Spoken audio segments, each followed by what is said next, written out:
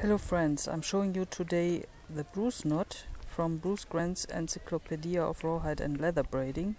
It is plate number 172.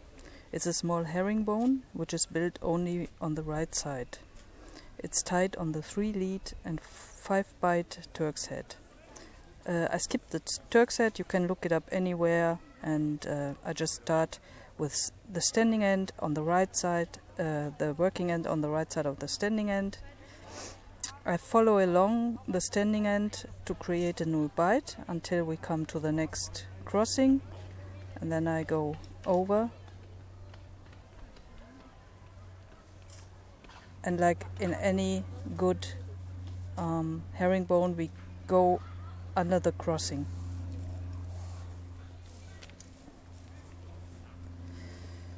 so we created a new bight I'm gonna turn this. So we're doing practically the same here with the next one. We create create a new bight following along the standing part until we come to the next crossing.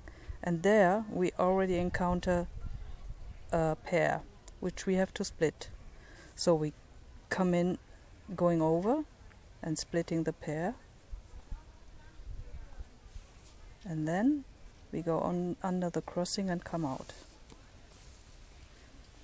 So we created a new bight. I'm going to turn this again. So now we encounter something new a bight which is not locked we go alongside this bight. We go over and split again and go under the crossing again and come out.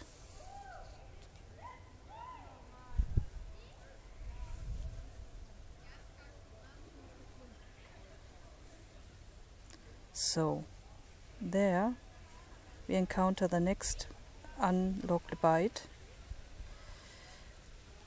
we go alongside this, create a new bight.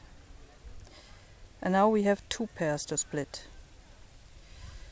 We came in here over, so to create this like this, we go in under one, split the pair here, and split the pair here going down from over, and there we have the crossings which we go under. And we have another cord